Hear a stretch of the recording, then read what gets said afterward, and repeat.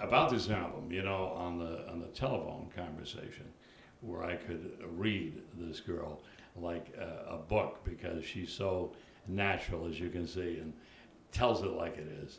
So it happened to be a story because there's a song on here called "Love Me Tender," and uh, I said, "Why love me tender?" Something like that.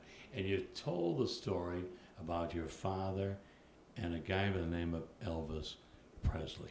Elvis Could- could you Presley. tell that yes, story? we were in. Um, I went to Paramount Studios with my dad one day, and we were standing out in front of his um, dressing room, and Elvis Presley drives up on a bicycle. He rides up, and he gets off the bicycle. He said, "Dean, are these your beautiful daughters? And this is your daughter?" And Dad said, "Yes." And he said, "Elvis, I'd like you to meet Deana."